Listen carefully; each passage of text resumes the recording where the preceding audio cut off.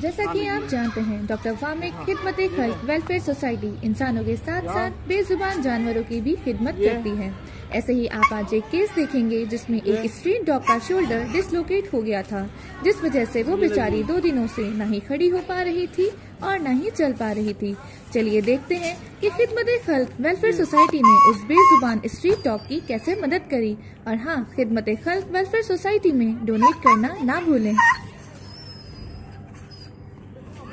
चलो,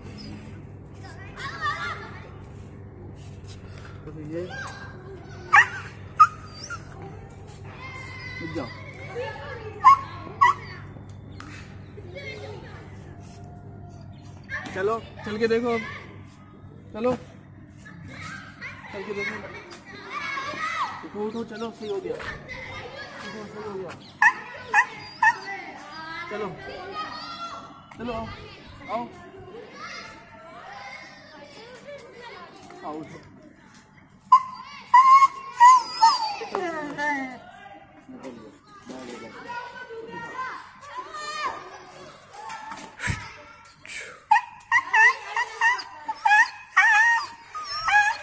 चलो रोक लेती सही हो गया।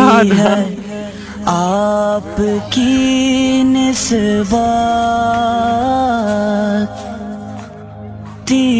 जितने भी हम पे चलते हैं।